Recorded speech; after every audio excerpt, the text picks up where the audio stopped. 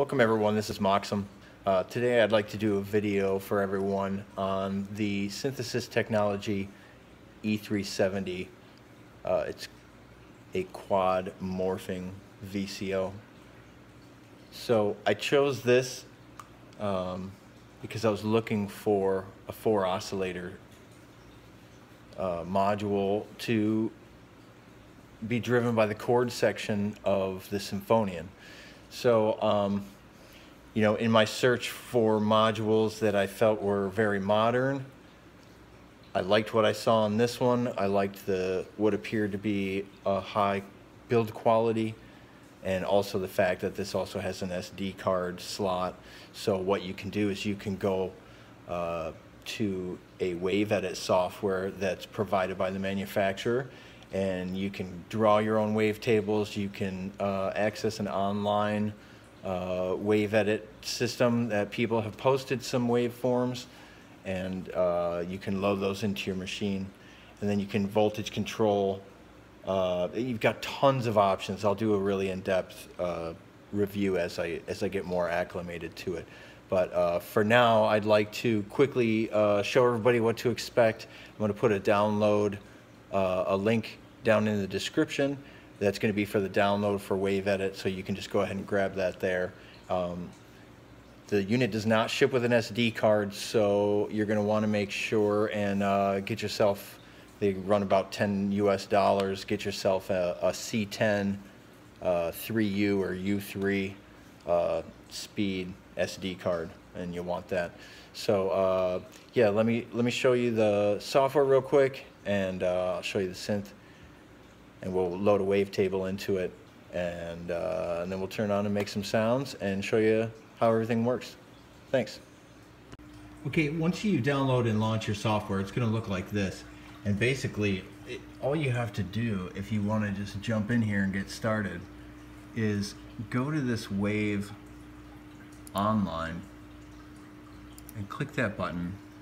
And what that's going to do is that's going to open up a page with a bunch of different waveforms. It's going to tell you where it came from, who made it, and you can load it.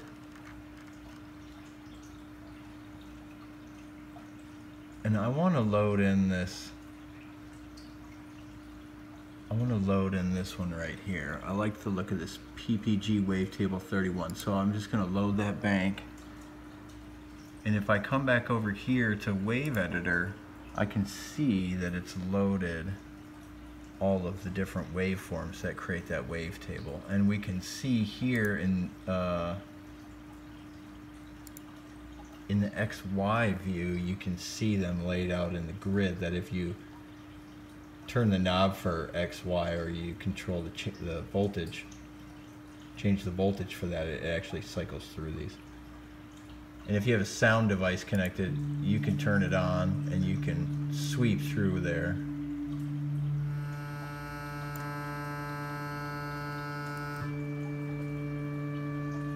And you also have a, a waterfall view, which is pretty cool. But anyway, you probably watched the videos on the page that you downloaded the software. If you haven't, I recommend that you do that. But anyway, all you have to do once you load one in that you want to use, you just do a save as, go to wherever you would back those up. Remember this one was PPG 30, I think, 30. So save that into a folder. Okay, so over here I've got my backup folder and I've also uh, got my USD card. So all I'm going to do now is grab this WAV file. It actually saves out a WAV file. You just drop that in, eject your drive. Okay, so I'll put that drive in label up. And I'm going to go ahead and turn my system on. You'll see a nice splash screen when that loads up, and then you'll see the current waveform. Uh, this is nice, however you have this set from the last time it was on, that's the way it's going to greet you. Okay, so I am currently driving this with the chord section of the Sinfonion, so it is constantly outputting four voltages uh, in whatever key I've requested. uh, from the Sinfonion. And uh, this synth does not have any envelopes or um, anything like that, no VCAs. Um, so you're just hearing everything raw coming out. But I do have, I have the four inputs coming into the one uh, volt per octave. And I also have the LFO that is coming from the Behringer Neutron running into here and that is what is making uh, these waves move, this modulation. Now the reason that it's modulating is because I have the mod, uh, I have the mod here for X1, which is where I have that plugged into. I have that turned up a little bit. So you can see the more I turn that up, you can see that wave start to move faster, see? And then also, my parameter X1, I only have that up about a quarter. But if, if I turn that, then you can see it's gonna sweep through a lot more of the entire wave table as I do that. Okay. And that's still controlled by the speed, so um, I can turn up the rate of the LFO and you can see that move even faster and faster and faster. So, but what I want to show you is uh, we'll go into the menu here and I just want to go to File. And what we want to do is we want to look for that PPG30, which is this one. So I'll select my PPG30 wave and just click down on the button and it's going to show me the wave file that I've requested and then one may be in here or it may not but it's showing me bank user A right now. So if I scroll to the left and highlight bank, I can click on it and then I can find an empty slot, which is just gonna be represented by a straight line. And I can just click, which takes me out of that selection and I can go to load, which is there, right there. And I can just load that in. So now I know that I've loaded that into E. And then I'll exit this file menu. And what I wanna do is go to my voice settings menu now and here you have voices one, two, three, and four. And I'll keep them at, I'll keep them the way they are right now, but I'm just gonna change the bank. So if I go to here and bank, and right now it's on user A, but we'll just change that to user E. And then I'll do that for the other voices here. We'll switch that one to E also. Switch that one to E. And finally the fourth one.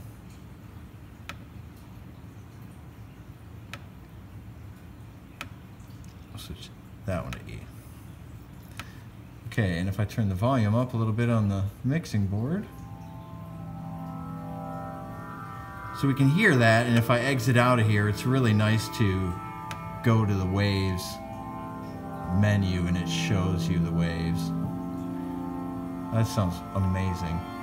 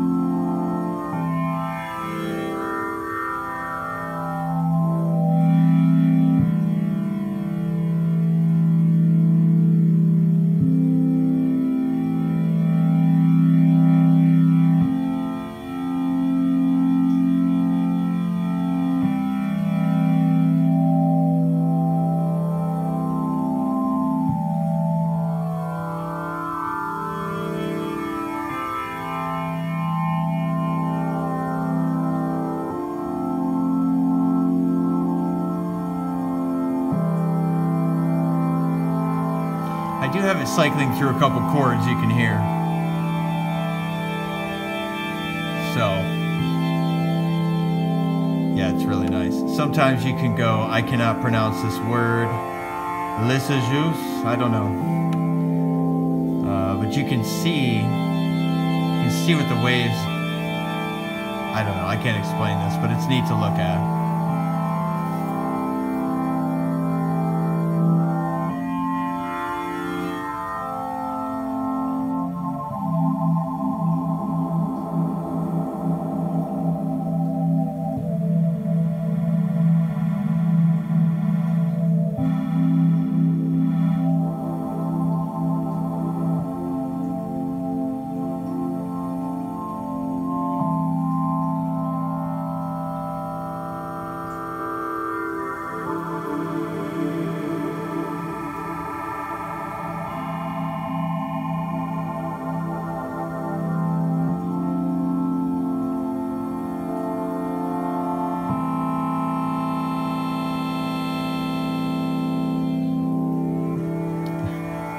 So again, this was PPG 30, uh, and that was downloaded. Uh, I imagine everyone's going to see the same files there on that software. So yeah, check that one out. Let me show you the way I have this set up. Now you've got four audio outputs, and you can send any of the four voices out those outputs. So I only have one output connected going to my mixer right now. So what I did is I, I chose output 4 just because of its proximity. And what if you highlight number four, you can go into it and you have a, a mixing board. I found this thing was screaming loud. Uh, I ended up turning every all four of uh, all four of the oscillators are going out for, like I said, and I have them at, set at negative 36 decibels. Um, so that's the mixing section, the way I have it set up. If I go to voice settings, all of these are set the same way right now. They're all set at cloud. There are four oscillators, and the wave is morphing but the wave table is being pulled from user E, which is the one that I just showed you uh, putting on the flash drive. I don't have glitch on and I don't have, uh, maybe that's phase interpolation, uh, but I do have X1 set for the Z parameter and for the speed parameter I have Y1. Okay, so that's what you're hearing. This is, this is the speed.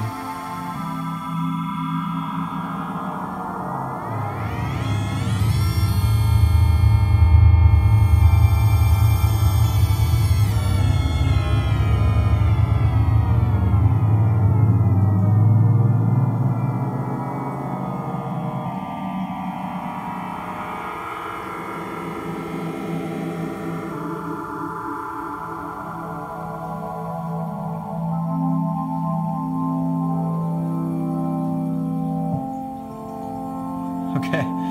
Uh, and then uh, X2, if we were if we were to mess with the with the X2, I actually have a uh, the CHS BW parameter. I don't know I don't know what that is. It's not apparently doing much right now. Um, so yeah, all four of those are set the same way, right?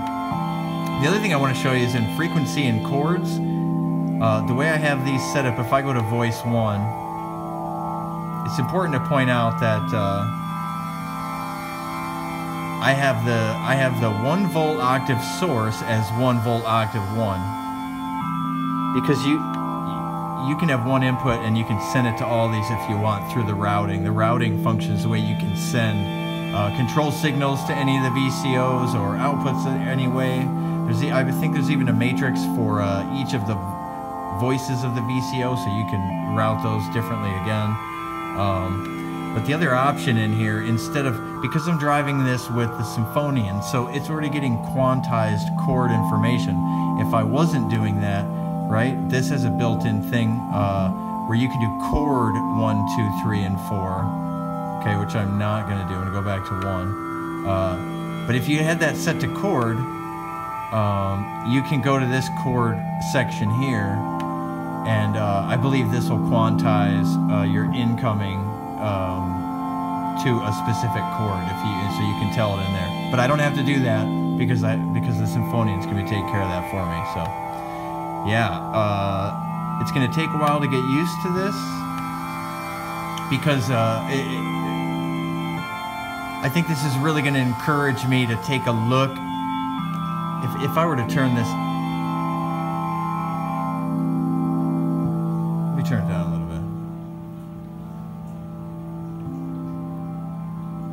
if I stop the movement and then I just want to manually scroll through the wave tables, you know, you have the opportunity to use other wave tables and listen and find waves that you like a lot. And that software that they gave us gives you the ability that you can literally, uh, you can draw, you, you know, you can uh, maybe draw a picture of this and then you can recreate that in your wavetable and start to make your own collections of wavetables of wavetables that you like that you want to morph together to get that sound that you want. So I think this is uh, when I when I say I, am looking for mo modules that I think are modern, and uh, this one is kind of this one kind of breaks my rules of uh, size. Um, if they could have made this smaller with smaller knobs, I probably would have been happier. It, it's a it's a pretty big beast. Um, it's not as big as the Neutrons, um, but this I was willing to overlook that because one, four oscillators with an SD card. Um, the, I, this may have been the only one I could find, uh, but all the other stuff that it had to offer and the sound of it is just it's amazing to me. This thing sounds great. so anyway, it's getting a little lengthy. Um, I hope you enjoy this video. I hope this gives you an idea. Um, if you're on the fence about buying this device, uh, I say if you've got the rack space and you have the means, uh, this, this may be the way to go.